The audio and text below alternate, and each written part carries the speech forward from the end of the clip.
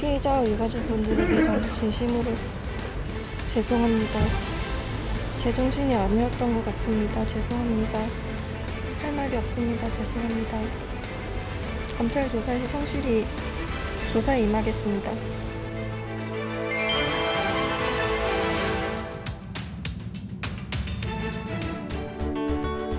예, 시청자 여러분 한 주 동안 잘 지내셨죠? 신율입니다. 이해랍니다. 그 온라인상으로 인터넷 거래 많이 하시죠? 저 많이 합니다. 그죠? 예.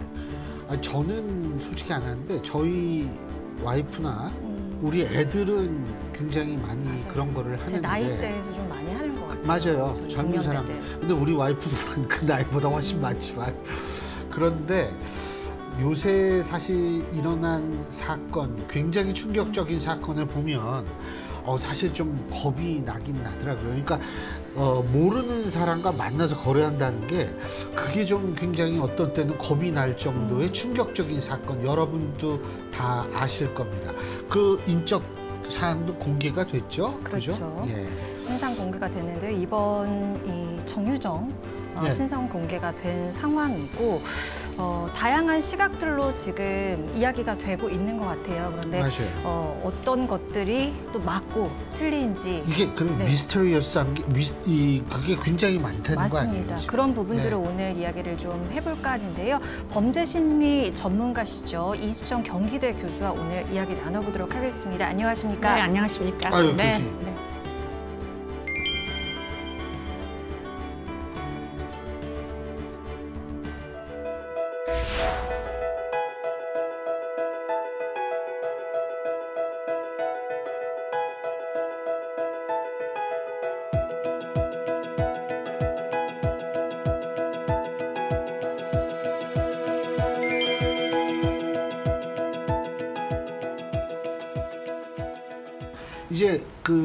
경찰을 했고 지금 변호사는 어떤 분이 말씀하시기를 이 경험칙상 이 왜소한 체구의 여성이 같은 또래 여성을 제압해서 살해하고 시체를 시신을 훼손하고 이 이러기가 그렇게 쉽지가 않다. 네.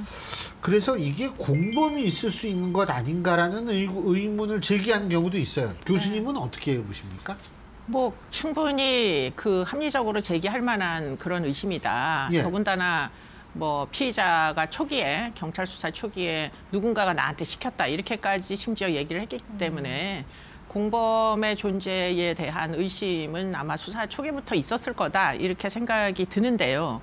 문제는 공범이 없이도 지금 이런 끔찍한 범죄는 여성 왜소한 여성 1인에 의해서 일어난 적이 우리나라에 존재하죠. 아 그렇습니까? 그 사건 가장 대표적인 사건이 사실은 고유정 사건이죠. 아, 네, 그렇기 때문에 뭐 우연히도 이름이 같아가지고 요새 고유정과 정유정을 비교하는 그런 그 코멘트들이 많이 있는데요. 물론 뭐 두 사람의 범행 동기나 이런 것들 현저히 다릅니다만. 아, 뭐 어떤 순간에 예컨대 뭐 본인의 사력을 다해가지고 어, 어떤 반사회적인 행위를 해서 목숨을 잃게 한 후 뭐 시신을 훼손 유기하는 그런 사건이 완전히 불가능한 건 사실 아니에요. 어. 그렇기 때문에 지금 이번 사건도 사실은 이 사람이 어, 여러 가지 그 장면이 CCTV에 잡혀 있습니다. 그렇기 때문에 그 많은 CCTV에 그러면 혼자가 아닌 다른 사람의 조력자가 있을 개연성 그런 포인트가 뭐 어디 흔적이 남아 있는 게 있느냐 사실은 전혀 남아 있지 않거든요. 그렇기 때문에 사실은 지금 오프라인에서 누군가의 그 만남을 통해서 조력을 받았을 거다라는 가설 가설은 사실 성립하기가 현재로선 어렵습니다. 아. 네. 이 정유정이 제정신이 아니었다 이렇게 발언을 했잖아요. 네, 네, 네. 지금 근데 보면 과외 앱 가입을 하고 네. 교복까지 또 구입을 하고 살인하는 과정 자체가 그래도 어느 정도 조금 계획이 있었다고는 생각이 들거든요. 그 무슨 영화를 보고 따라한 네, 피해자 네. 신분 얘기 나오는 네, 부분도 네, 그래 네, 네. 그렇고요. 네. 보면은 좀 이성적으로 판단할 능력이 부족했던 건가라는 생각 들어요. 왜냐하면 그 영화상에서는 사실 뭐 연고가 없고 네, 네. 이런 피해자를 노려서 그 신분을 훔치잖아요. 네, 네, 네, 네. 조금은 다른 상황인 것도 같아서요. 뭐 조금은 다른 상황이죠. 영화의 경우에는 이제 보험금을 노린 살인 사건이었기 때문에 뭐 합리적인 테두리 내에서 신원이 신분이 필요해서 지금 일어났던 사건이고 실제로 그런 사건이 있습니다. 발생한 적이 네. 있어요.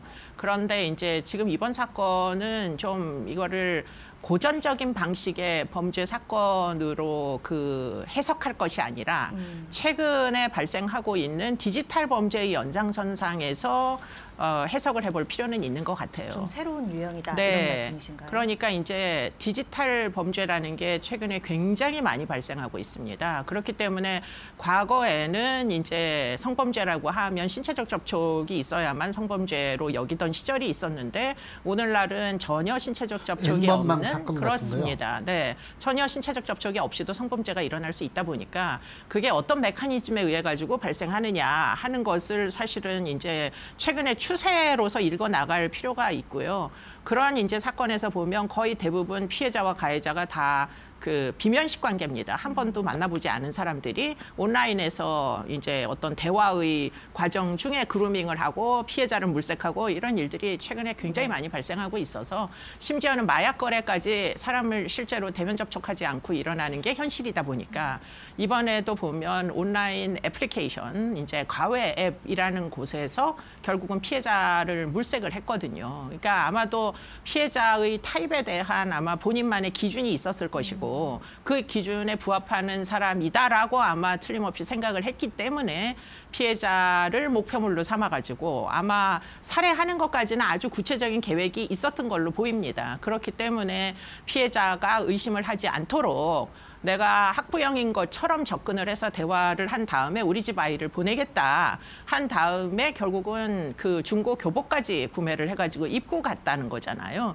그렇기 때문에 아마도 그 과정 중에 이제 미리 흉기를 준비한 고기까지는 사전에 미리 여러 번 머릿속으로 아마 가상적으로 한번 생각을 해보고 연습도 해보고 그래서 결국에는 살인에 이르기까지는 했는데 문제는 이 사람의 또 다른 특성 중에 하나는 아마 살인까지 예, 치밀하게 계획했던 것과는 달리 일단은 이제 살해한 이후에 예, 생각은 그리 많이 해봤던 것 같지가 않아요.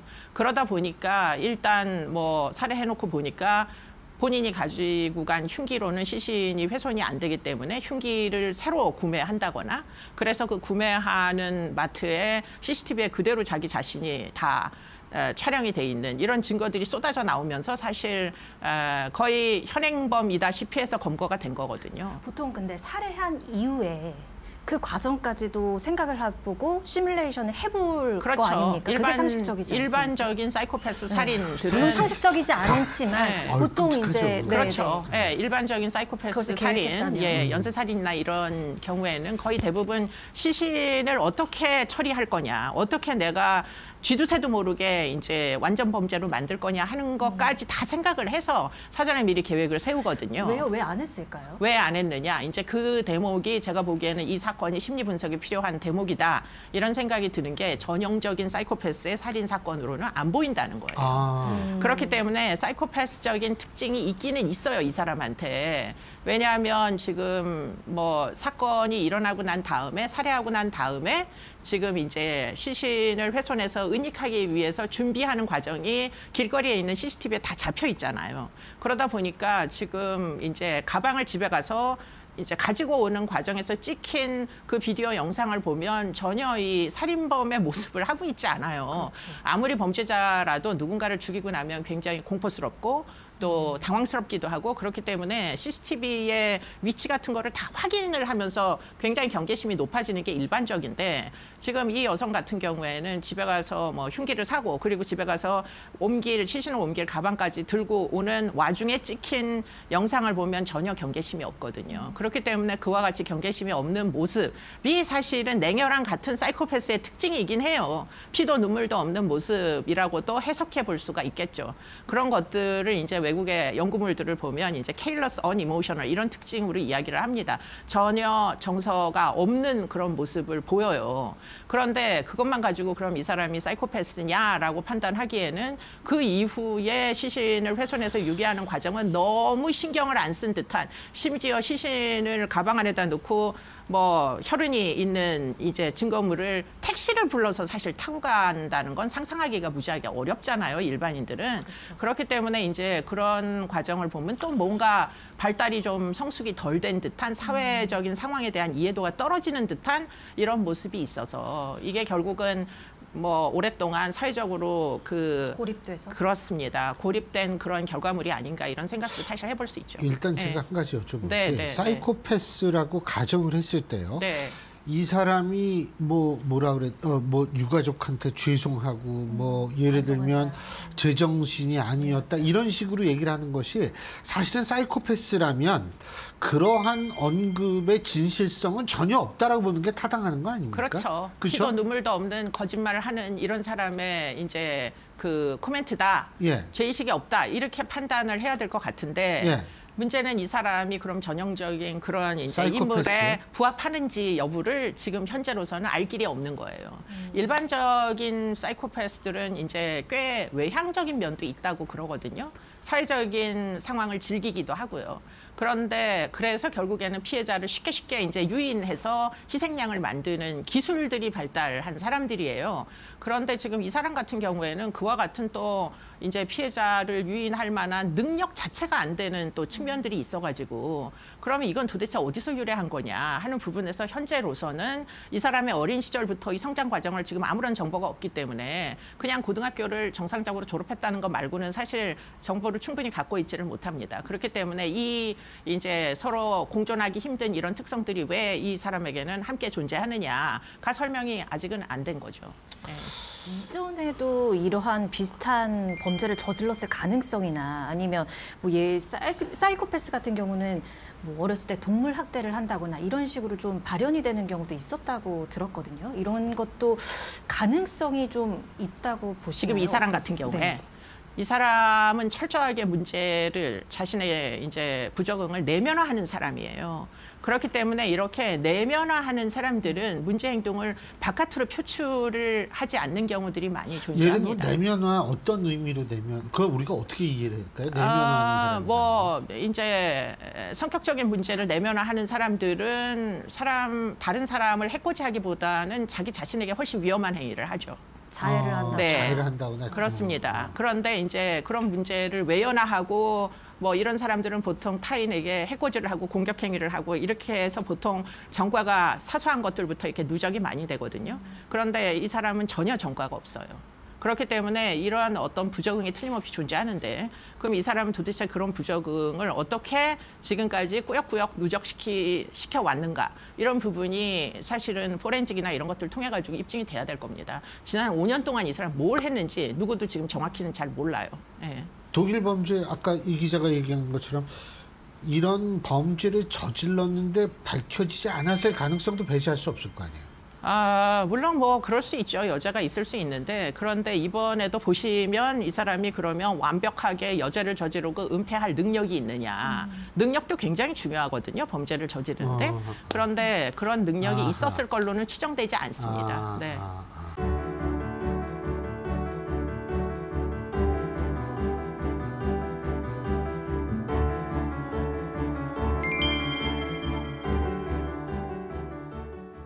그 5년을 좀 추적을 해봐야 한다고 이 사람에 하셨는데. 대한 정체를 알 수가 있는 그렇죠. 거죠. 근데 네. 그때가 마침 또 코로나 이 시기와도 겹치는 네, 네, 부분이 네, 상당히 네. 있어서요. 네, 네. 지금 뭐 은둔형 외톨이 네, 범죄 네, 네. 증가 가능성에 대해서도 언급이 나오더라고요. 네. 어떻게 보십니까 이 부분은? 뭐 은둔형 외톨이, 그러니까 5년 동안의 비사회화되는 기간을 우리나라만 거치는 게 아니잖아요. 외국의 경우에도 사실 비대면 기간이 우리나라보다는 짧지만 1년을 시행한 나라도 있고 뭐 6개월만 하고 학교는 무조건 와라. 이런 이제 유럽의 일부 국가는 아이들을 청소년기에 너무 비대면을 오래 하면 아이들의 사회화가 이제 결핍되니까 무조건 학교를 나오라고 감염의 위험에 예, 노출이 되더라도 그런 이제 나라들도 있고 다양한 국가들이 있어요. 그런데 어느 나라나 지금 이 시점에 제일 크게 문제가 되는 건 묻지마 살인입니다.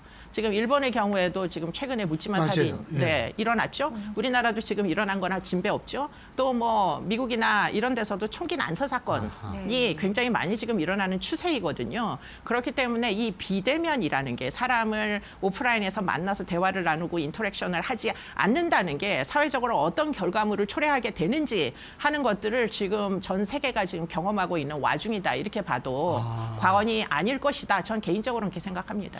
그런데요, 우리가 희귀꼬물이라고 얘기를 하는 은둔형 외톨이라는 게 뭐 코로나 이전부터 일본도 그렇고 그러니까 왔죠.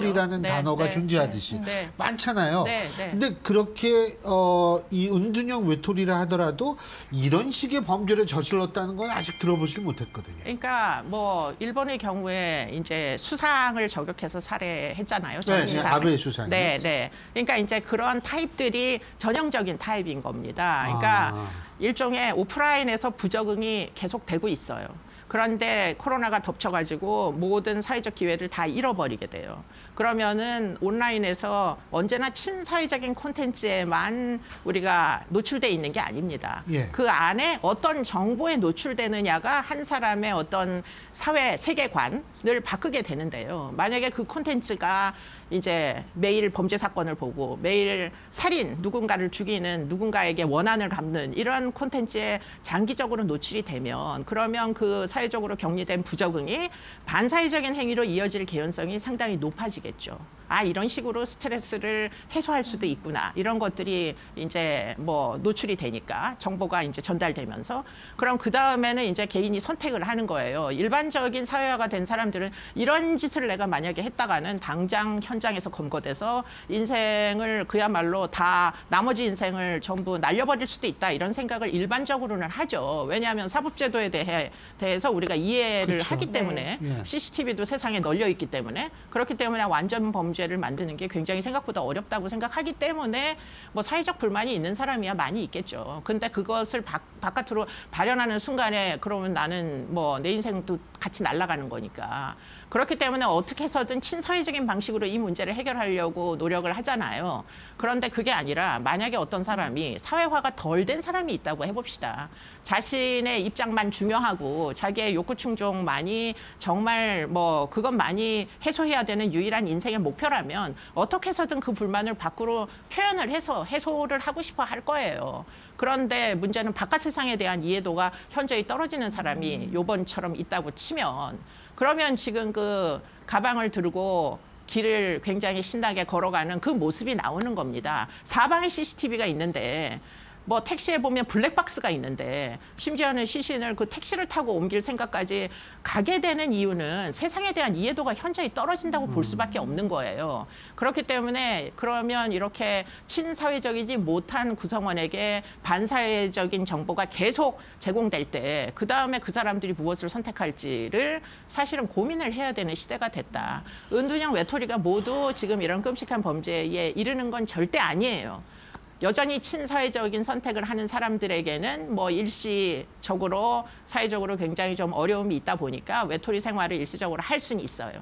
그런데 그런 게 아니고 어린 시절부터 혼자 지냈고 아무도 뭐 부모님이 양육을 제대로 안 해줬고 학교에서도 부적응 상태로 맨날 엎드려서 자는데 굳이 학교에서 얘를 친사회적인 존재를 만들기 위해서 교육도 제대로 집행이 안 되고 방과 후에 내내 집에 혼자 있어야 되고 그러다가 어찌저찌하여 중학교 졸업장은 따긴 땄는데 의무 교육이니까 그럼 그 다음부터 만약에 제대로 된 어떤 사회화의 과정이 결핍됐다면 그 다음에 이 사람은 사이버 공간 속에서 무엇을 할까요? 그 사람에게도 24시간 365일은 똑같이 있는데 그런데 사이버 공간 안에 무슨 경찰이 있습니까? 무슨 사법 제도가 있습니까?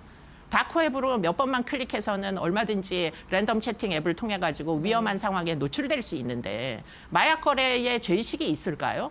그렇기 때문에 지금 마약 거래가 과거보다 훨씬 심각해지는 이유는 그게 왜 잘못됐는지 알지 못하는 청소년들이 쉽게 접근하기 때문이에요. 그뿐만 아니라 뭐 성을 사고 파는 일도 얼마든지 온라인에선 쉽게 이루어지다 보니까 그럼 그런 종류의 문제들을 또 보면서 이게 정말 잘못됐으니 내가 복수를 해야 되겠다.